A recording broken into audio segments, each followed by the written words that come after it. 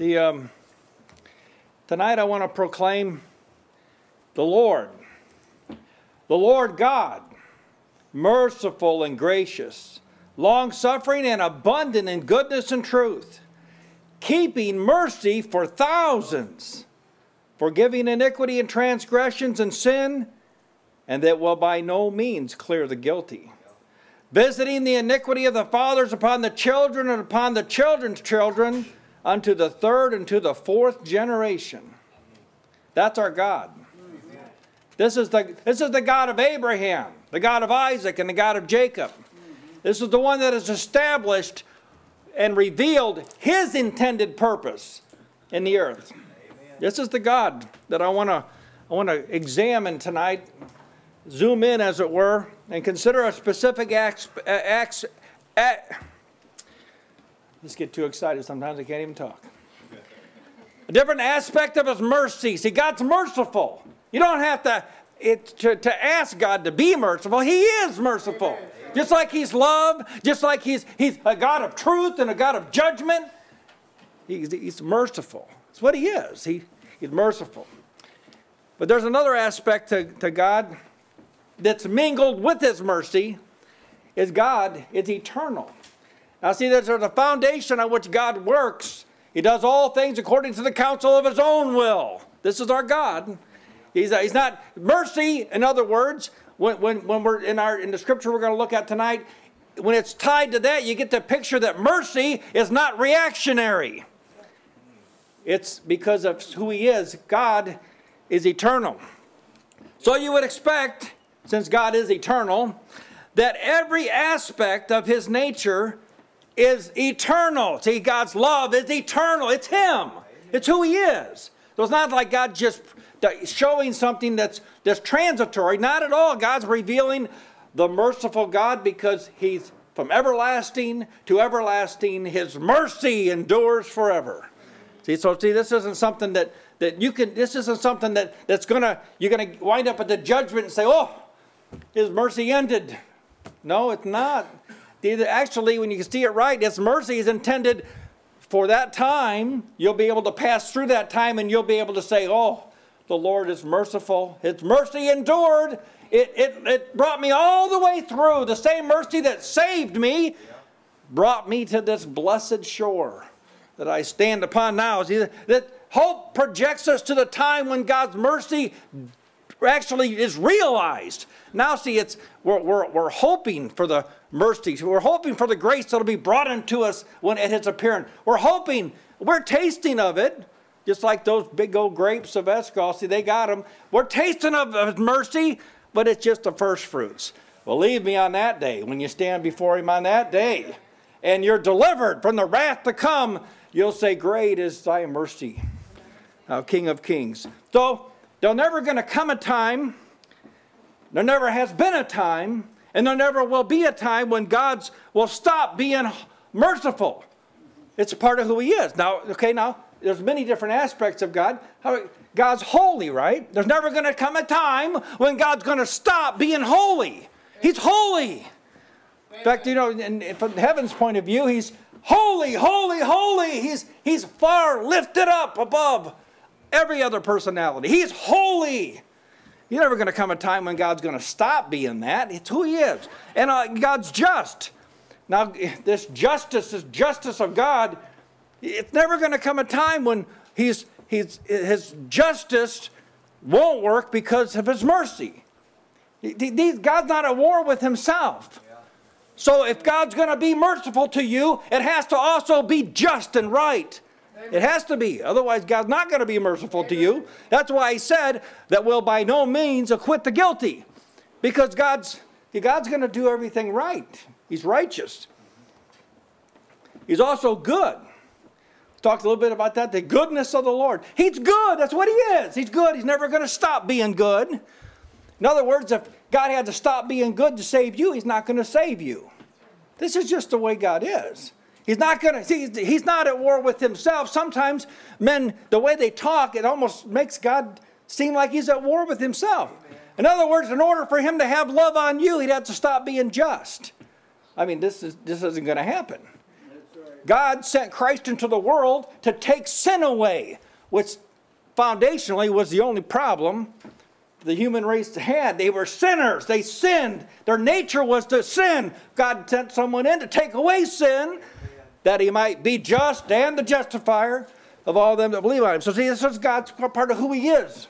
Is what I'm what, what I'm um, talking about here. Now, the, the, the, God has to be this way. It has to be that you can have confidence in God to not change.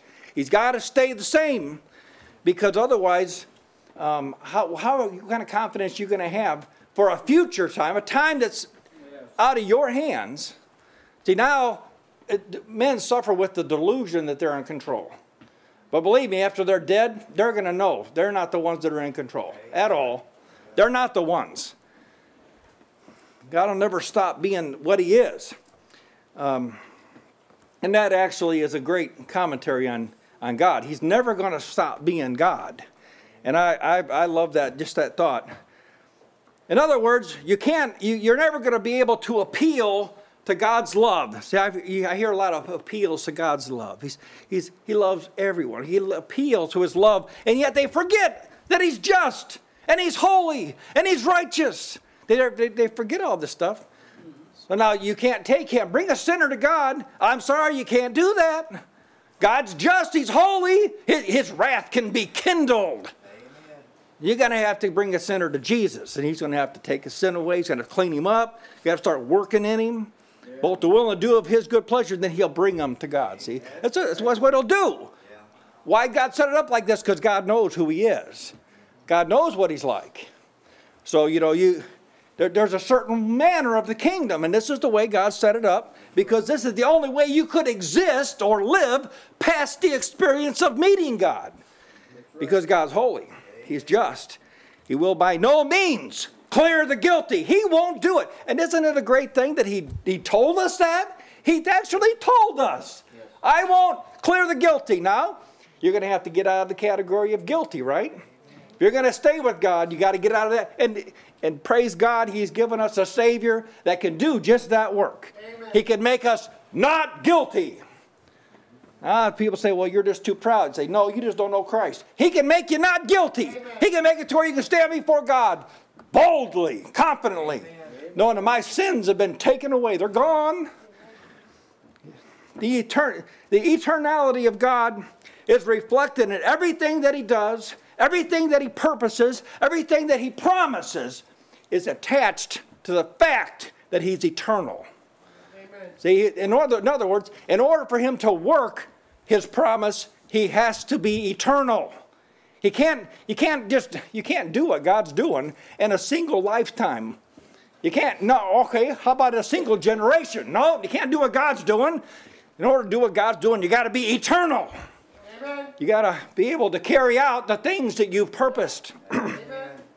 everything that He promised, everything that He purposed is tied to who He is. It's, it's actual, actually, it's something that came from God and is to God is everlasting. See, it's mercy, it's from everlasting, from, from God, to everlasting. It's actually to and for God.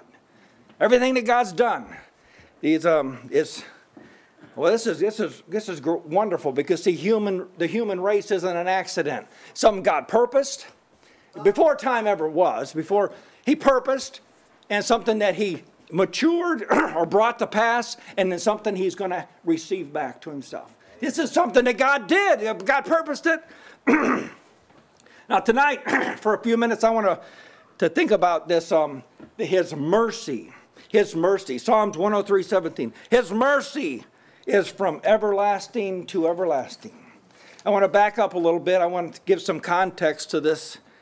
Verse 13, verse 13 of that chapter, Psalms 103 says, Like a father pitieth his children, so the Lord pitieth everyone, them that fear him.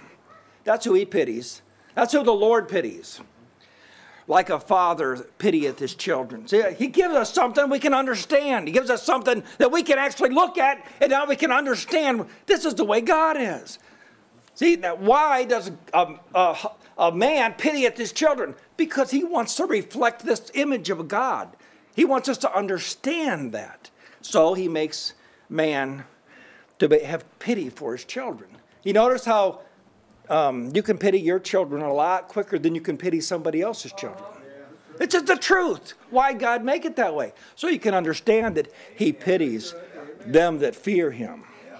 But now, if that's true, I want to fear God because He pities them that fear Him. See, I want to honor God for who He is. Why? Because He pities them that fear Him. For He knoweth our frame, He remembereth that we are dust.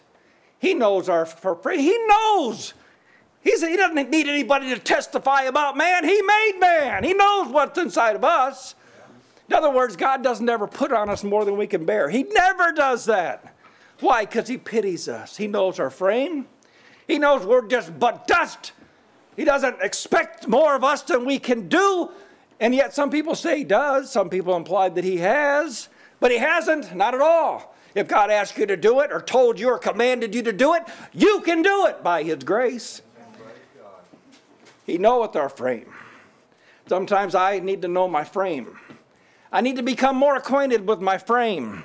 Because man, a man's by nature filled with pride. He thinks he can do more than he can do. He thinks he can work out his own righteousness. No, no. Teach us to number our days. He, know, he remembereth that we're but dust. As for man, I just talk about a man. What kind of capacities do you have, man? As for man, his days are as grass. As a flower of the field, so he flourisheth. It appears for a moment that he has all this glory. Just, just wait. Just wait for a few minutes here. For the wind passes over it, and it is gone. And the place thereof shall know it no more. It's like you never even existed. Yeah. It's like the, it's like it never was even there. Yeah. And yet it boasted a lot for a few moments. The flesh, flesh has this capacity to boast. But you get in the context of God, you get in the context of eternity. That's what he's setting the stage here. He's showing us, he's making this contrast about man, which is just, just like, just for a moment. He appears for a moment and is gone. All right? But, but, the mercy of the Lord is from everlasting to everlasting. There's never a time when the Lord's never been merciful. He is merciful. Amen. But see, his mercy needed an expression. It needed, it needed to be expressed. You know, what good is a God that's merciful if he's never merciful? If there's never a, an occasion for him to be merciful. Amen. So what did he do? He made man in his own image. In his own image, why? So he could be touched so he could be compassionate, so he could pity them. Why? Because they're made in his own image, after his own likeness. This is our God. He knows exactly what's it going to take for God to be pitiful. Well, you need a creature that's made in his own image, that's fallen. One that's made in his image that needs compassion. Yeah. What does God do? He pities them. And he, he exercises his compassion. He opens it up and shows principalities and powers in heavenly places that don't need one bit of mercy. They don't need any mercy. They've never fallen, they've never transgressed. They do what he wants instantly. Instantly. The, the, the living creatures that are around the throne, they've never said, They've never rebelled. They've never had any thought whatsoever of violating the perfect will of God.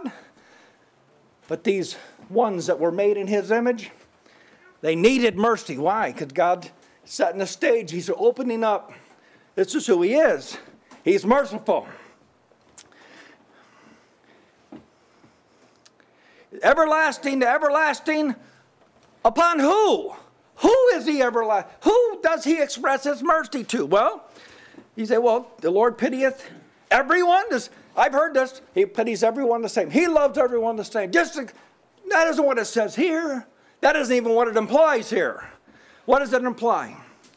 Everyone? Well, if you can say everyone's his children, so I guess there's a sense in which it's everyone that's born in the image of God, but he's more precise here, isn't he?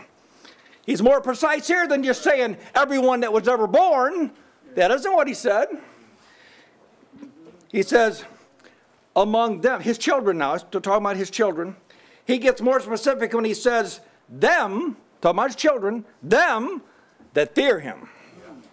So the children, those that are made in his image, that fear him, he pities them. Amen. Thank you. That's who he pities. He pities them, right. the ones that fear him. Mm. Why? Because you, nobody fears him by accident. Nobody fears him on their own. Yeah. God's been working in these. Amen. Thank you.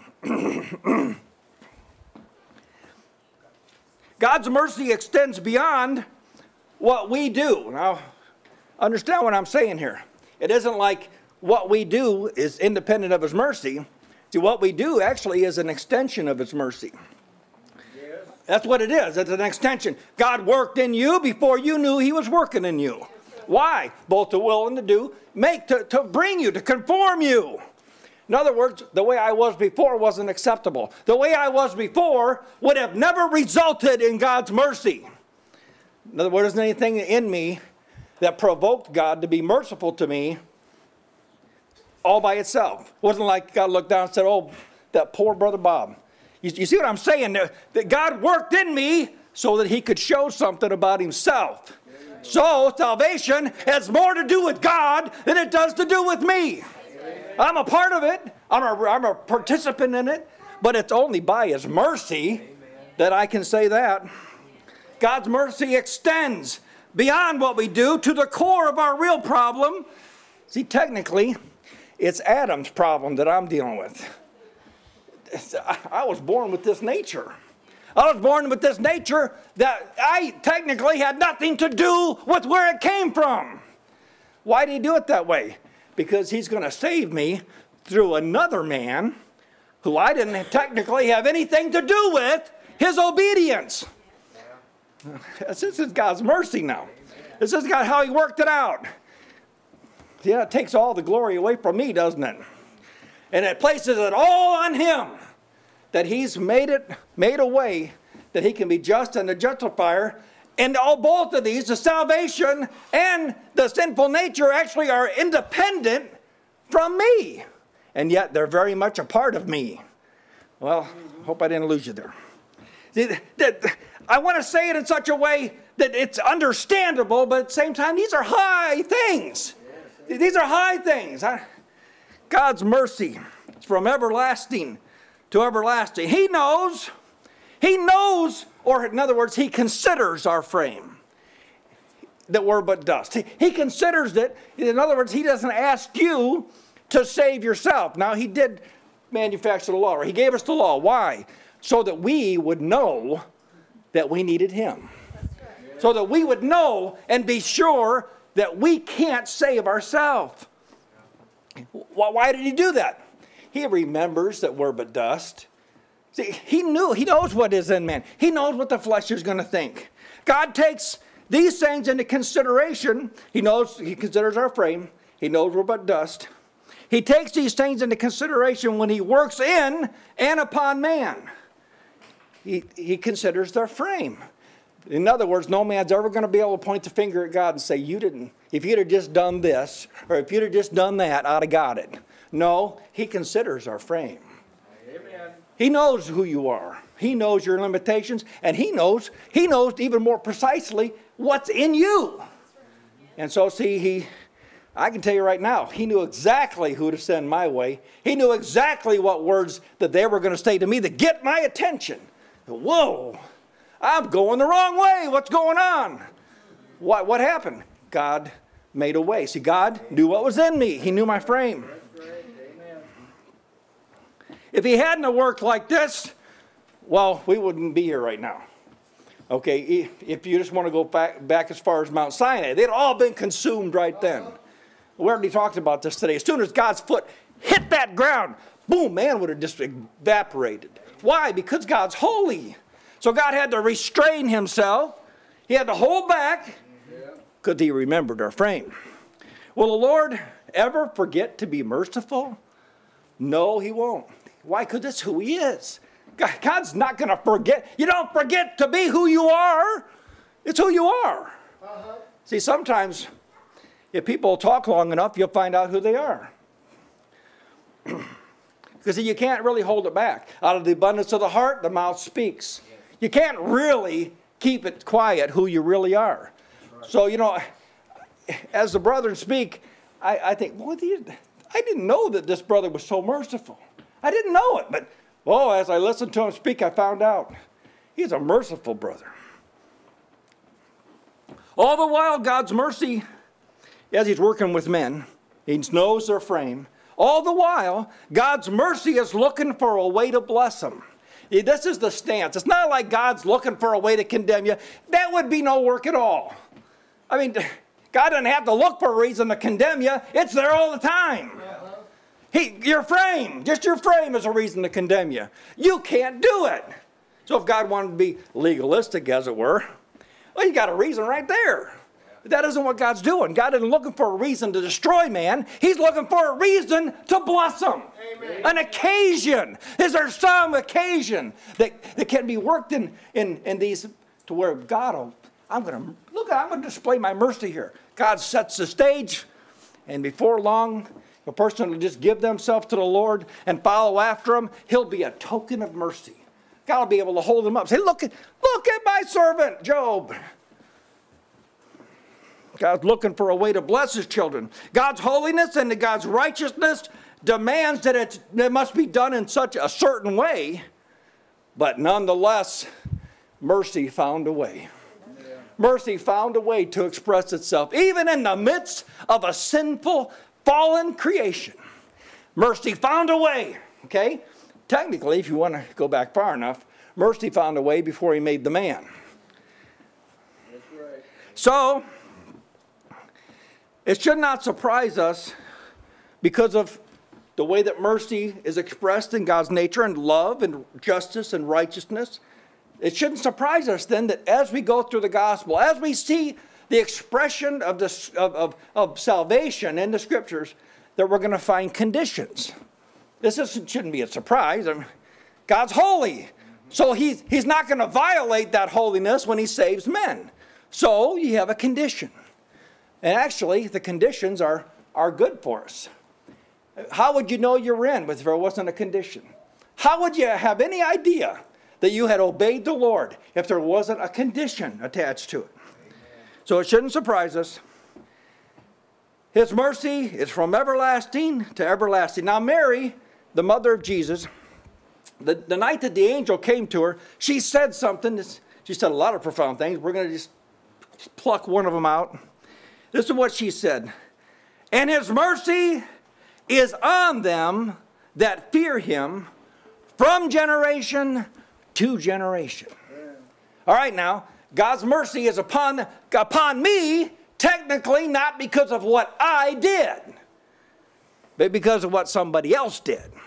His mercy is from generation to generation. Now, there's a couple different ways of looking at that. Jesus came all right, now he's the greatest example of God being merciful to the whole world because of one man.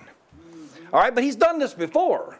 You go back, you find that Abraham, God made a covenant with Abraham that later on, his descendants are going to get in on this mercy because of his, because of his faith, because of what God told Abraham. His mercy from everlasting to everlasting. See, this is the way God is if God, now, we already talked about, he won't impute, he won't, he, he the, the, guilty. He's not, he, he's going to deal with these guilty ones. All right, but yet, if his God's wrath or his displeasure with the fathers can be visited upon the children and upon the children's children unto the third and fourth generation, then it should not surprise us that his mercy will operate the same way. All right, now I've got to hold it against you because of something your father did. Well, then it works the same way. He's going to be merciful to you because of something your father did. I mean, it, it shouldn't surprise us. Why God do it this way? Because see that the promise might be sure to the whole seed. That's why God did it this way. It should not surprise us that His mercy, His mercy is more abundant and copious than His wrath. See, you see, otherwise it wouldn't be mercy, right? The contrast is there. God's wrath isn't shut down by His mercy, it's satisfied. His mercy is on them. It's on them that fear Him from generation to generation. Or as spoken in our text, same thing from everlasting to everlasting. Now, one, one perspective is, is more from man's perspective, from generation to generation. But see, that's more, that's more accenting what, what God's covenant with Abraham, see, and to his descendants, generation to generation. But see, in our text, from everlasting to everlasting is accenting the real root of why he's doing it. Because there was a time in eternity past that there was no men. When God made a covenant, as it were, with himself. The eternal purpose was worked out before anything was. So it couldn't have been that God was merciful or moved to mercy just based on what a man did or how a man responded. That's right. It was in God's, it was in his own person. See, God desired he, to, to be merciful. And so his mercy is from everlasting. It was something that he, he, inst, uh, he purposed way before, see, that he ever implemented that plan. And, and in the end now, remember, Jesus is going to deliver the kingdom back up to the Father, and he himself is going to be subject to him as he, God is going to be realized as the one who initiated it, the one that brought it to pass, the one that sent Christ, the one that, that cursed Christ, as it were, laid sin on him, the one that received him back, and then the one that received all the fruit from the work. God's, he, these two big pillars, they're God. It's from God and to God. And that mercy is the same way. It's mercy. There came a time when God remembered the descendants of Abraham. Why did God do that? Why, did God, why was God merciful to the descendants of Abraham when, well, it, it, you, can only, you can only cite the scripture. I mean, you say, well, why do it? Because this is the way God is. God made a covenant with Abraham. Now, God's not going to violate that covenant that he made with Abraham. Even though hundreds of years later is when its mercy is actually realized, nonetheless, it was, just a, it was just as though Abraham was standing before him, because Abraham was standing before him. But Exodus 2.23, And it came to pass in the process of time that the king of Egypt died, and the children of Israel sighed by reason of the bondage, and they cried. And their cry came up unto God by reason of the bondage. And God heard their groaning. And God said, I have so much pity for them. And God remembered his covenant with Abraham. Yeah. What it says. Here, they're down there. This is very real to them. They're, they're suffering under this bondage. What does God do? He hears their cry and he remembers his covenant with Abraham. Yeah, I, I, especially like this because, you know, when you cry unto the Lord, you know what he's, who, who he remembers then. He remembers his covenant with his son. He remembers his covenant. Oh, yes, they shall all know me, every one of them, from the least to the greatest. I'll be in them. I'll be in them. See, this is what God's done to his son. He's made a way that he can be merciful to you, and his justice will allow it. God heard their groaning. You've been groaning. You know, we, we, um, uh, the, the, the groaning of the saints, this is very precious in the eyes of the Lord. See, we're groaning. You know, why, why, why would we be groaning? Well, remember, their, their bondage, it was their bondage. You've got a body, believe me, that cause you to groan. You groan within yourself. Why? Because you're, you're, you're earnestly hoping or expecting to be clothed upon with your body that's your, your, your new body. But see, that whole process, God hasn't ignored that whole process. The very fact that He has left you here to be conformed into the image of His Son, He knows this is going to be painful. He knows your frame, He, he knows what you're going through. And as you groan, see, he's, He hears you. He hears you, and He'll give you mercy. He'll be merciful to you. And He'll be gracious to you. Why? Because of his covenant with, with Jesus. I like that. Later, Pharaoh would be drowned in the Red Sea. if you remember that. Now, see, God used Pharaoh to bring about the groaning. You, you know, you know that he did that. He used Pharaoh, hardened his heart. Pharaoh was hard on them. They groaned. They, they cried unto the Lord. The Lord delivered them because of his covenant to Abraham. And then God destroyed Pharaoh in the Red Sea, washed their bodies up. Now, here, these are the ones. These are the ones who were the participants of the mercy, that got the mercy that was promised Abraham, is what they said. Who is like unto thee, O Lord, among the gods? Here, the bodies now, get the picture. They're washing up on the shore. All right, these are the ones that, that were just pursuing them. The ones that were running after them, that we're going to kill them, we're going to pursue them, we're going to overtake them, and we're going to destroy them. Well, God killed them. They didn't get to, they didn't get to satisfy their lust. Here they are, they're dead on the shores.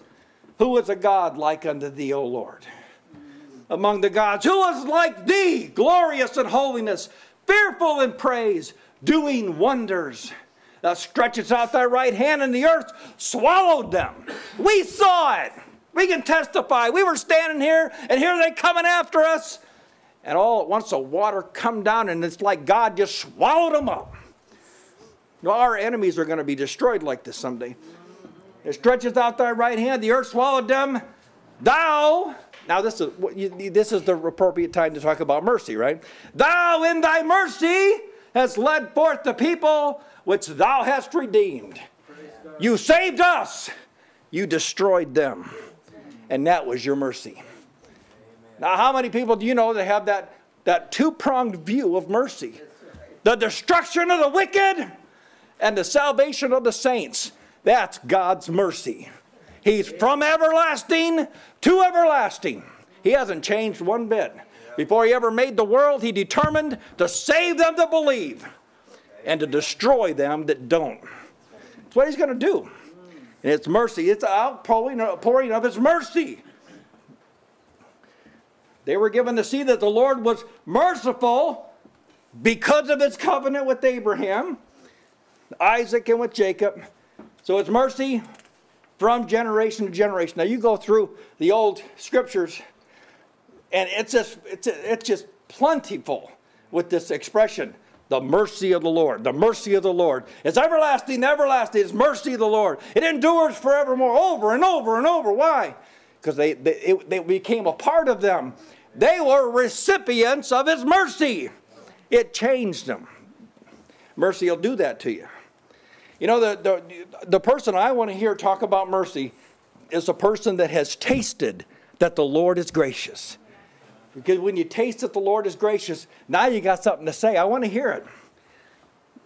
Who is like unto thee, O Lord? See, we can all testify. Anyone who's tasted that the Lord is gracious will tell you there is not any other God like our God. Amen. He can forgive sins, but he by no means will acquit the guilty. His mercy, this one that's from everlasting, which means before anything was created, mercy, all right? Or unto everlasting, even after the earth is destroyed, merciful. All right, God's mercy transcends time. It transcends humanity.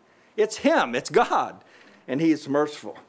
I want to make a point here that even though God's mercy is from generation to generation, nobody on the face of the earth would have ever known that had God not told us.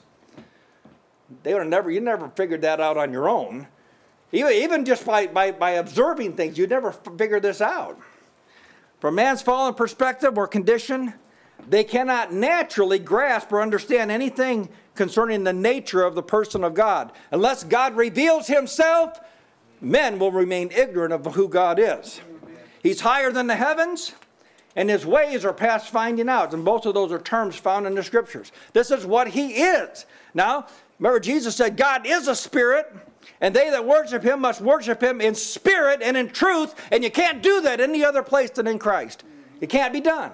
So as you're in Christ, you, look back and you, you understand. You start seeing what he did in, in, in, with Abraham, Isaac, and Jacob, and, and with the prophets. And you start seeing God's merciful. Look at what he did. He's merciful. Man is not naturally eternal. There's not any man that's ever been born from the descendants of Adam that's ever partaken of a natural e- eternality. They didn't like have an existence that kept going on and on and on. Uh-uh, sorry. Even Methuselah would tell you, thank goodness it finally ended. I finally died. I, can, I, can you imagine if Adam would have taken and eaten of the tree of life in the condition that he was in and lived forever in a sinful condition in the flesh? Oh, see, God prevented that, remember? God prevented that. Why? Because, see, this, this, in that condition, well, his mercy, this would have complicated things greatly. But man, by nature, now I'm talking by nature. I know that in Christ, you get into Christ and you can say things like, I'll never die. But see, man can't say that on his own. Man is, it's appointed on the man once to die. And after this, to judgment. So, I mean, you can't escape this. It's inevitable. Man is going to die. Flesh is going to go back to the dust from whence he was taken. Yeah, you, you, you, think about this. God put him in a world that he created, man. And even, even that testimony, the testimony that, as it were, screaming out, there's a God, look, there's a God. And they don't get the point. No, no man got it. They, they didn't get it. But it's a, still a testimony, it's there. It says, For the invisible things of, from the creation of the world are clearly seen well, who clearly seen it? Who got the, Who got it? I'm talking about a natural man now, just walking around the earth. What they do? They cut down a tree and made a little wooden thing and they bowed down and worshiped it. They, they gave the stars names so they could worship them being understood by the things that are made, even his eternal power and Godhead, every man that's made in the image of God should be able to look up at the, at the sky and say, There's a God that made this. That's the testimony that God put in it. But they didn't, and he says they are without excuse. That's what he said. God put the testimony there. The fact that, that men don't see it is a testimony of how obtuse the fallen man has become. Man, by nature, cannot find God. God must, God must, if He's going to be merciful now, God must intercede into the affairs of men if they're ever going to realize or taste of this merciful God. Technically, nobody that looks into the heavens should come away with a testimony of unbelief. They shouldn't. But the fact that they do emphasizes the fact that God's going to have to save them. Of course, this is, this is God's desire. God's desire is to be merciful. All right? Nobody will ever stand at the judgment and point a finger at the merciful God and say, You didn't do enough to save me. It's not going to happen. God's done an abundant, He's provided an abundant salvation. He's put he sent preachers out. What do they what do they do? They proclaim what God's done, his wonderful works. Now, even in the starlight age, you think, well, we've come a long way. Well, listen to Job. This is what Job said, Job 9, verse 10, which doeth great things past finding out, yea, and wondrous without number. Now, if anyone's ever going to know and understand God's mercy, he must be the one to reveal it he must be the one to, to open it up to their understanding. Mm-hmm. Otherwise, they'll be like Hagar and be standing on top of a well and not even know it. Even then, even, even if God's going to be the one to initiate it, this isn't something that's going to just be done in a moment. You look at the history, the history of, of what God's done, and it didn't happen in just a moment. Why? Because it couldn't be done in just a moment like that. Man had fallen too far for him just to say a word and they just instantly come alive. A lot of groundwork had to be laid. God laid extensive groundwork in the, in the law and the prophets so that man would be able to come to the knowledge of the truth, that he's merciful. Now remember, man's not the only one he's demonstrating this to. The, the objects or the vessels of mercy, technically, they're not the object of what he's doing. See, they're, he's, he's using them to show to principalities and powers in heavenly places, his the aspects that they could have never seen. Now, we can see it God gives you to see it. God works in you. You can, you've tasted that the Lord's good. You tasted of His grace. And so, see, you, you're like an inside participant into the mercy of God. You, you've experienced God's mercy. Now, how valuable will you be in the ages to come to God now as a testimony of His mercy? See, I, I look forward to this, this sitting down with Abraham and Isaac and Jacob in the kingdom. I, I know everyone that's in the kingdom, it's tasted of the mercy of the Lord and His grace. You want to sit down, you want to rehearse some of these things. And tell me, Abraham, tell me on the way over there to, to, to the mount to offer your son. You know, you, you, why, why you want to do that? Because see, you've, you've tasted the same thing that he did. It's in a different measure. Right. Even then, God's the one that had to lay the groundwork. He didn't ask a man to lay it, He did because He's eternal. Because the groundwork that needed to be laid extended through many generations. So, see, who, who was sufficient for such things? Who could, who could God give an eternal purpose to like this and it be accomplished other than Himself? He is eternal. So, He's had it all planned out See, I couldn't even come up with the plan, much less implement it. I could, my mind isn't big enough to even come up with the plan. But he did. He purposed it, he implemented it all the way through. Jesus said, remember one day God spoke to Jesus out of heaven. And um, this is what, not everyone got the message, remember? All right. He says, Father, glorify thy name. There came a voice out of heaven saying, I have both glorified it and will glorify it again. The people, therefore, that stood by and heard it said, It thundered. and others, an angel spake to him. And Jesus answered and said, This voice came not because of me, but for your sakes. Now, that's the same things happening today. There's a message that God's putting out, but not everyone's getting it. Some people think, that doesn't sound right. It sounds like it thundered. It, that doesn't, they didn't get any benefit from it at all. And yet Jesus said, it was for you. It, this, this message didn't come for me, it came for you. So they should have got it. They should have got it. Men, although made in the image of God, do not have the power within themselves to make themselves understand. They don't have the power. They can sit inside of a church, hear gospel preaching for 30 years, and still not have the understanding.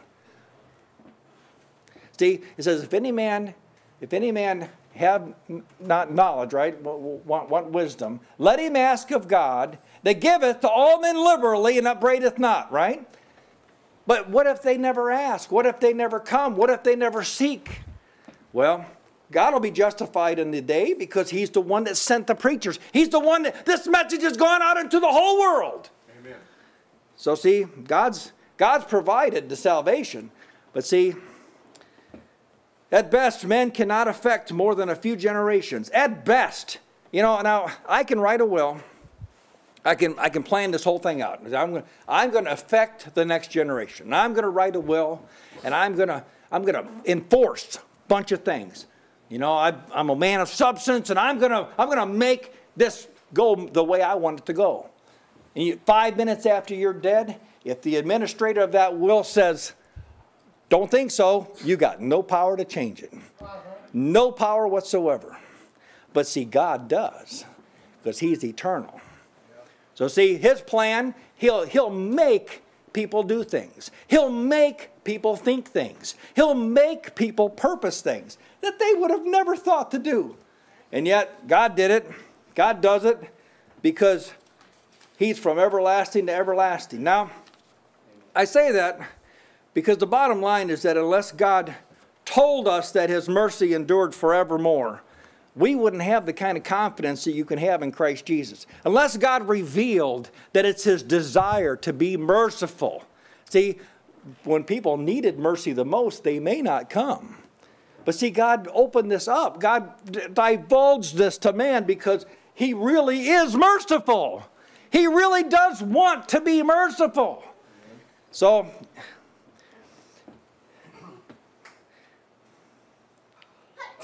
The man, the natural mind does not have the capacity to rightly consider the term from everlasting to everlasting.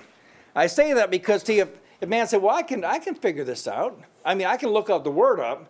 But you know, the, the word everlasting, it's interesting because men have tied a lot of things to everlasting that aren't everlasting. I mean, I looked up and they even say some batteries are everlasting. I'm sorry, they don't know what everlasting means. There's nothing in this transitory realm that would even suggest such a thing as everlasting. There's nothing in this world that is going to last forever. Nothing. Amen. It's not. So, how, see, in other words, if you believe this, if you believe that, that the mercy of the Lord is everlasting, then God's done a work in you. Because this is something that you're going to have to receive by faith. God is everlasting. His mercy is from everlasting to everlasting. And if you know that because of the work He's done in you, well, then you're blessed of God. In order for man to be empowered to properly manage these thoughts, God will have to give him or man a new mind. Now consider that. He has to give you the mind of Christ in order for you to properly navigate through the thoughts of God. Otherwise, you're never, you're never going to be able to understand what God's talking about in His eternal purpose. You, you, it'll, it'll like boggle your mind. You'll be like, how can these things be so? Well, because God said them. That's, that's why. God said them. That's enough.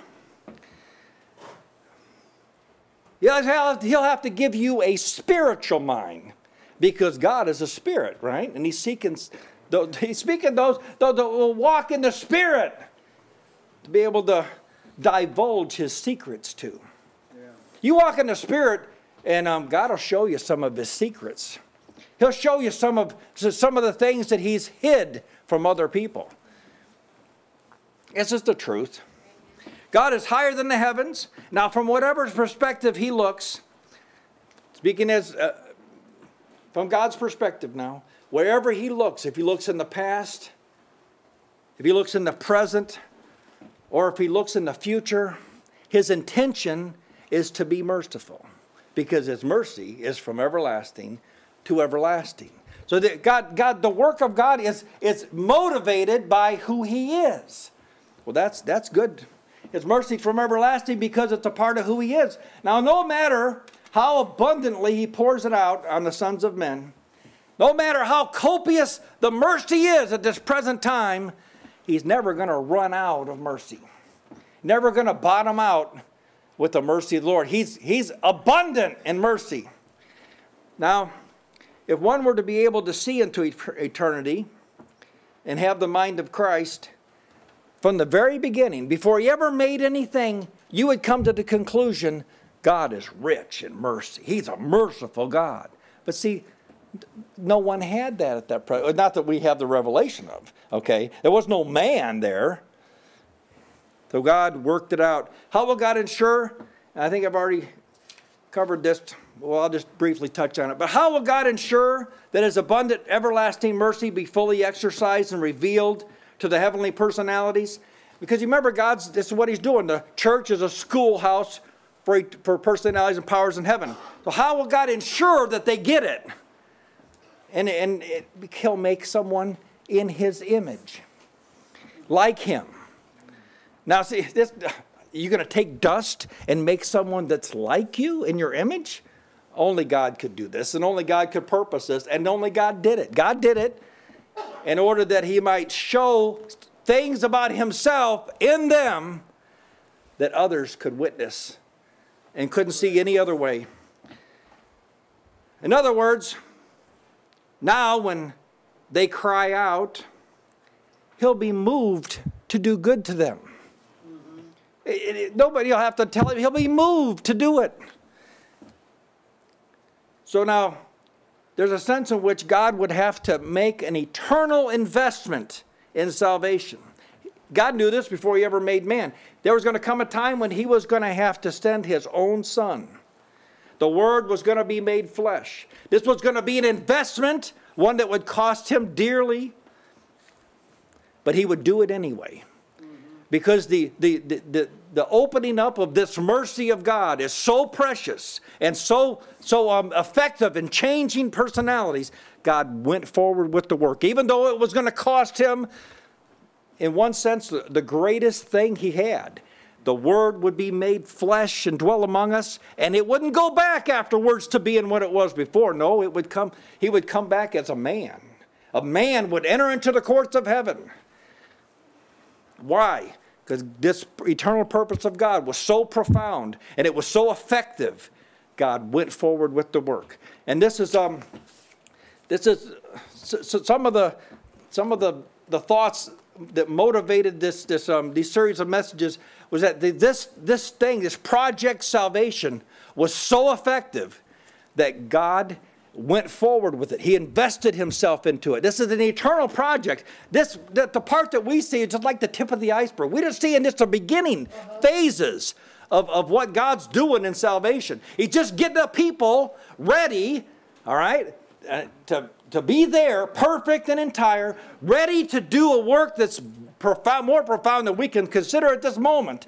But see, it's something that God needed many sons for. It's something that God needed His mercy to be open and exposed, understood, so that now, when He works, uh, well, this is going to be good. It's going to be good. See, you see what I'm saying? This is all preliminary work. Even the work of salvation that he's done here, it's all preliminary. We know that God hasn't saved us just so we can sit down and be saved. It's so we could do something. And, and all the, the parables that Jesus talked about and, and opened up were in order to something be done. See, I give you, you've been faithful over a few things, you'll be a ruler over many things. You see, but do you see what this mercy's produced? It's, it's made an environment now where God's going to continue to open up stuff. But the mercy of the Lord from everlasting to everlasting upon them that fear him, and his righteousness unto children's children. So see, this, this is much bigger than, than, um, than what we've been given to see at this present time. This, we've seen enough to draw us in, to keep us, to nourish us, to change us, and then the ages to come. See, this is, it's going to continue on because it's everlasting mercy. Amen. Thank you, brother.